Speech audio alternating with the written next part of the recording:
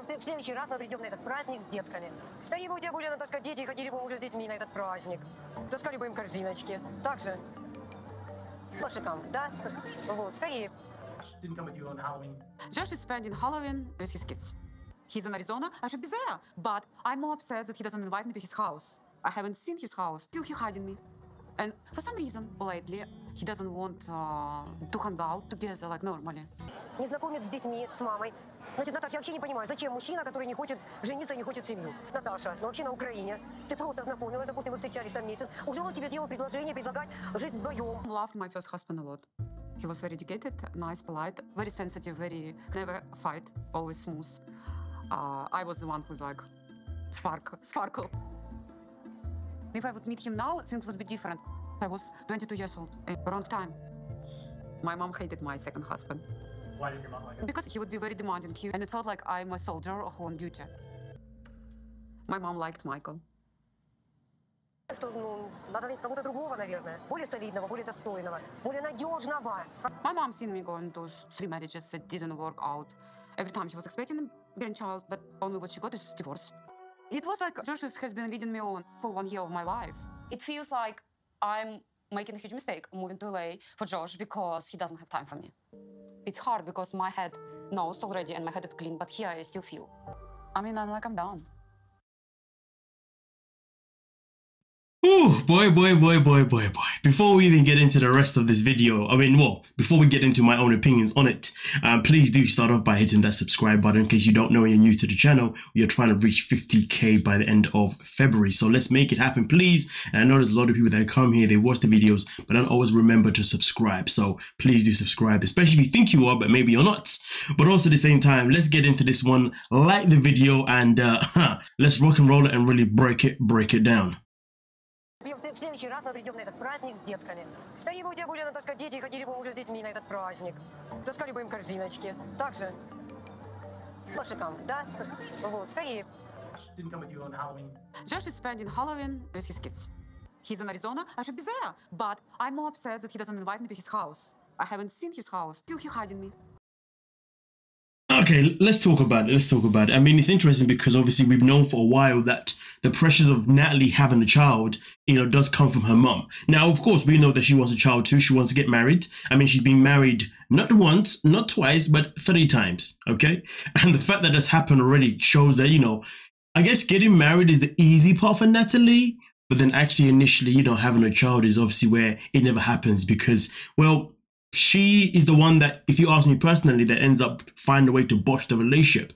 And we'll get to that later on, of course, in the video, because there's something else that she does say that I definitely want to touch on in terms of why I believe she's the problem in all of her relationships and why she's not where she should be. And where she should be is in a space where she's married and she's got children. And therefore, you know, she could be in this situation here with children. Now, of course, when it comes to Josh not inviting her to Arizona, well, here's the thing. Natalie's always spoke about how she wants relationships to happen quickly. She wants someone to be with her and they want to propose to her straight away and want to have kids with her straight away. But that hasn't happened with Josh. So I do wonder then if that hasn't happened, because that hasn't happened with Josh, why is she even still sticking around? Why hasn't she literally said, you know what, this isn't working for me because you haven't reached my criteria? Do you see what I'm saying? Because clearly there's a certain trend that happens in her life. But I guess this is why we are under the influence more than ever that her relationship with Josh is nothing but is nothing but just a transaction to be on the show because really and truly it doesn't actually represent who she is as a person, if you know what I mean. But let's continue and uh, yeah, we'll get into it a bit more. And for some reason, lately, he doesn't want uh, to hang out together like normally. Не знакомит с детьми, с мамой. Значит, Наташа, я вообще не понимаю, зачем мужчина, который не хочет жениться и не хочет семью? Наташа, ну вообще на Украине. Ты просто знакомилась, допустим, вы встречались там месяц. Уже он тебе делал предложение предлагать жить вдвоем. So that's the, that's a very very good point there. You know, the mom talks about how normally if you was in Ukraine, you get a guy within a month, boom bam, you're living together. Within a few months, I guess you're married. Obviously, clearly that formula. I wouldn't say the formula has not worked.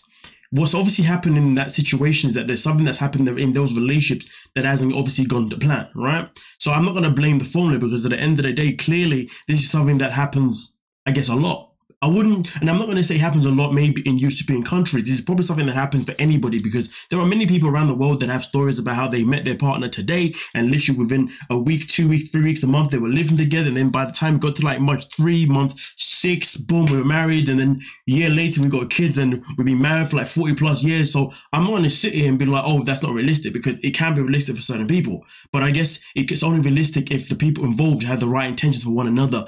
Clearly, for her, when she's been in these relationships, the intentions, I'm going to say, probably have not been correct from her. But I say that in terms of the fact her attitude has probably always been the issue. But now let's get into this part here. my first husband a lot. He was very educated, nice, polite, very sensitive, very never fight, always smooth. Uh, I was the one who's like spark. The fact that she even touches the fact that I, you know, I was surprised. I was surprised that uh, she kind of took took uh, some kind of Billy for the first relationship. She was the one that was sparked, spark, spark. Clearly, she's basically saying I was the problem. You know what I mean? I was too much for hot head. I was too da da da da da da. So okay, cool, fair enough. She got married at 22. It didn't work out. That is fine. It can happen. No worries. Let's move on to the next one. Sparkle. If I would meet him now, things would be different. I was 22 years old, wrong time. My mom hated my second husband Why did your mom like it? because he would be very demanding, and it felt like I'm a soldier on duty. It's funny. She talks about the second husband being too being too demanding, and you know she was the one who is like a a, a, a soldier on duty. Okay, cool. That is fine. I get how that cannot be healthy, but uh, correct me if I'm wrong. But isn't that how she behaves? Isn't she very demanding? And doesn't she kind of treat her men as if they should be, you know, a soldier on duty? Because she's always saying, "Josh needs to do this. Josh needs to do that. Mike should have done this. Mike should have done this." You see what I'm saying? So it's quite interesting because that second person has, uh, I guess, a personality that fits some of her traits, shall I say. But hey, it didn't work out because obviously mum didn't like it. I get it. I wonder if that relationship went down south because of Natalie or because her mum didn't like it. But either way, though, it didn't work. All right, cool. Fair enough. It is what it is. My mom liked Michael. But then we get to Michael. Michael was the third husband. Now, with the Michael one, let's, let's keep it a buck.